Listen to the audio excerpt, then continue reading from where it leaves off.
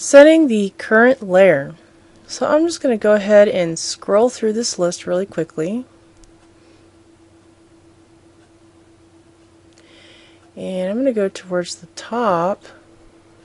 I'm really looking for layer 0. So here's my layer 0.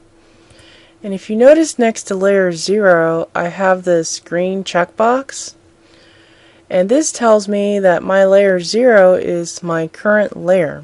So when I have a layer that is current, what that basically means is anytime I draw something up here in the drawing space, it's going to appear here on layer 0.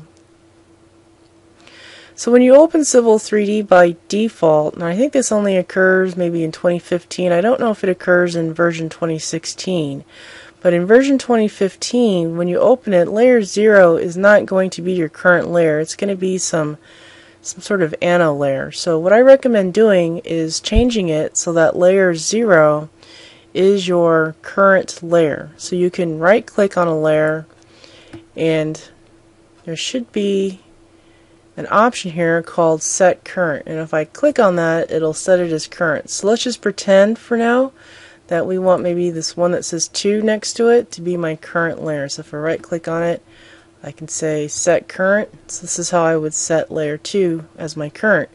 And by doing this, now that when I draw things, everything is going to end up on this layer, this um, layer called layer 2. So now I want things to actually go on layer 0. So I'm going to choose set current for layer 0 so that every time I draw something in the drawing space, it will always end up on layer 0.